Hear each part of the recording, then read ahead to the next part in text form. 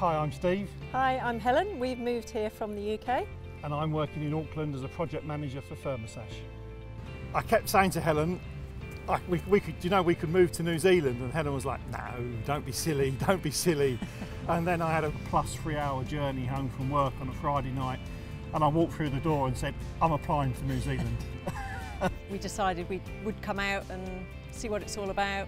And then we were going to be really cold and rational, and everything's got to be right, and the package has got to be right.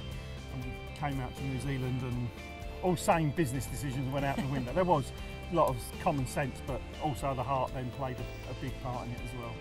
When we came over for LookSee Build Week, the seminars were really, really useful. It all just made it all seem so, so seamless.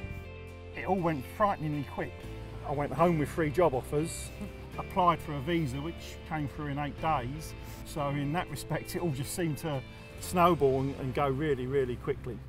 We've never been particularly spontaneous people. We've always been quite careful and quite conservative.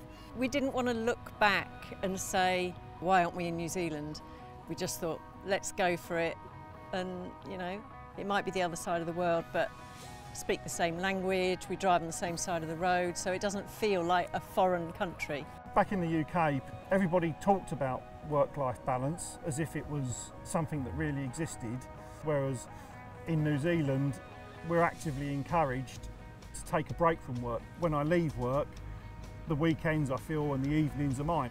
This is our closest beach we can get here within 10 minutes, so we really love coming down here. On the spur of the moment, you can hop in the car and pretty much within 20, 25 minutes, you can be on the beach, up a mountain, mm. sitting in the middle of a field in the middle of nowhere, sitting in the middle of the city, up on the seventh floor of a restaurant, looking out over the harbour, and it's like, there's not many places in the world you can do that.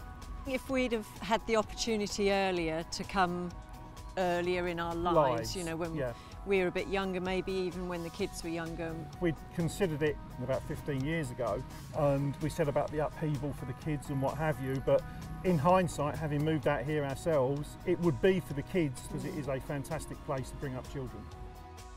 If you're thinking about making the move, you've just got to jump in, decide to do it. You can overthink things sometimes, and I think we might have been guilty of that in the past, but certainly this was the best decision that we made.